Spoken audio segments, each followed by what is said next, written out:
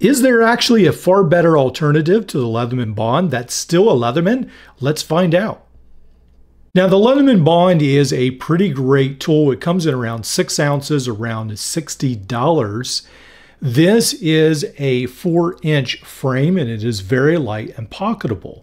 Now, it has the file, you have your awl, you have your screwdrivers, you've got your knife, you've got your can opener. Then on usual models, you have your 3D bit driver, or not bit driver, but your Phillips.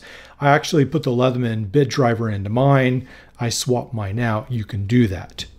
Now, the Bond definitely has a great history. The PST pretty much started out, well, it did start out Leatherman, the company. So this is the modern reinterpretation of it, and some things have definitely changed. Now, it does come in at $60, and I keep hearing that a lot of people have said, Hey, I love Leatherman products, but I can't afford them yet. I just have to keep saving up money. So, what could you do? Now, a lot of people don't want to buy cheap multi tools from overseas. They're not a fan of that. They still want to do American made, preferably Leatherman. There is an option that maybe a lot of people would prefer, or some, to the Leatherman Bond. Let's check this next tool out. Welcome the Leatherman PST 2. Now, the original PST ran for a while, and then eventually they actually upgraded the original PST to the PST2. This does have a little bit more of a square frame. I did add the pocket clip. It does not come with a pocket clip, but what you do get is this combo blade. You can always, I think you could probably swap this out for a normal blade for maybe a PS2 or a PST rather. I'm not completely sure about that, but it might be an option. You do have the screwdrivers. You also have a pair of scissors, which we'll talk about in a little bit. We've got a file. We have the can opener, the Phillips driver, and the very small micro driver. Now, this is a pretty cool option for those who want to have a very minimalist carry, but still want to find a fairly inexpensive option to the Leatherman Bond. Now, when we look at both of these contenders, one of the first ways we notice that the PST2 is perhaps superior to the Bond is weight. Now, keep in mind that I did add the pocket clip. Obviously, it doesn't add a lot of weight.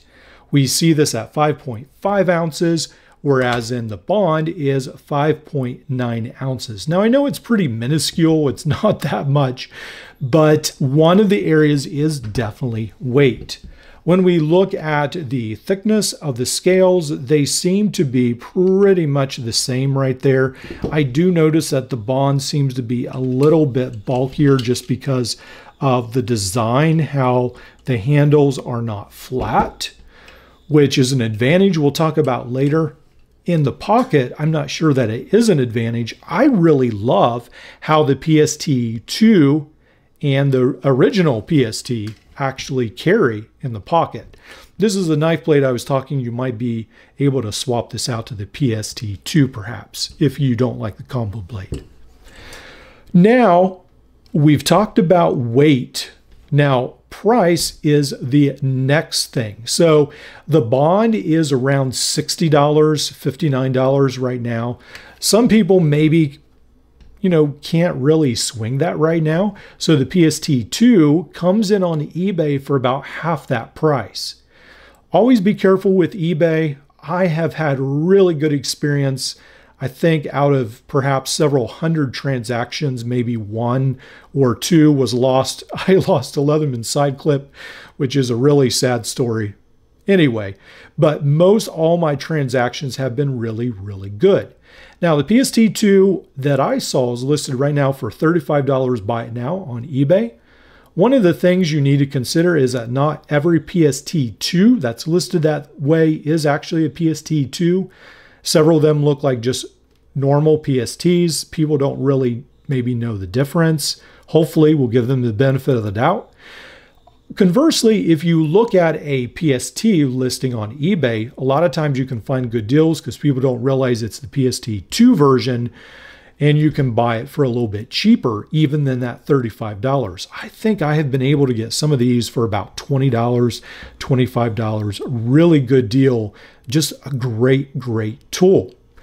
Let's go ahead and put the Leatherman PST2 through its paces cutting. Now it does cut through the rubber pretty well. Pretty happy about how it works on that. Now on the strap, you do have to give it time. These scissors are not shears like some modern scissors are on some multi-tools.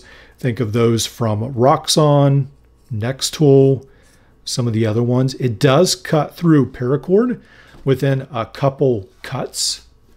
These scissors have a spring. Sometimes it does seem like it gets a little stuck.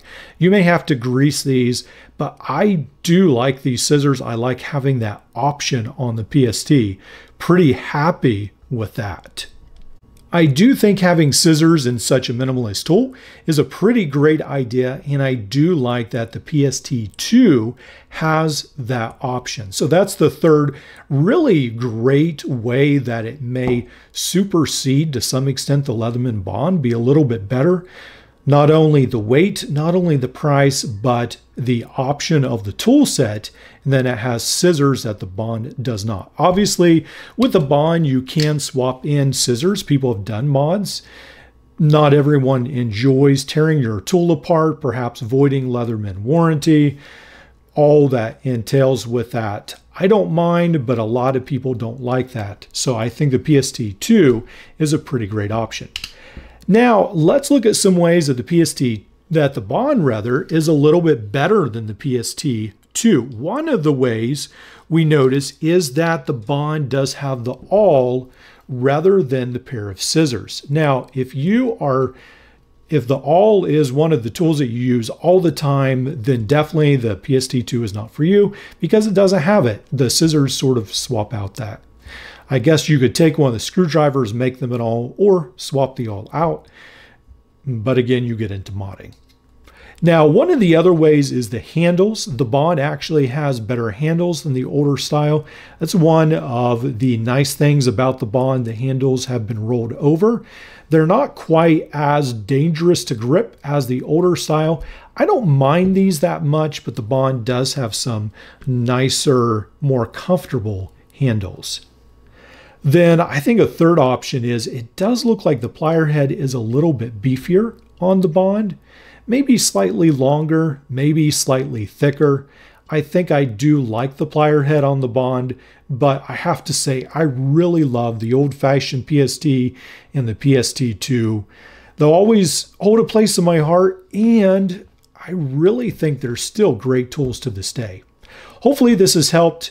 If you feel like you can't afford Leatherman tools that are new, always look on the used market because you can find some amazing deals and some of them may be better than the new tools.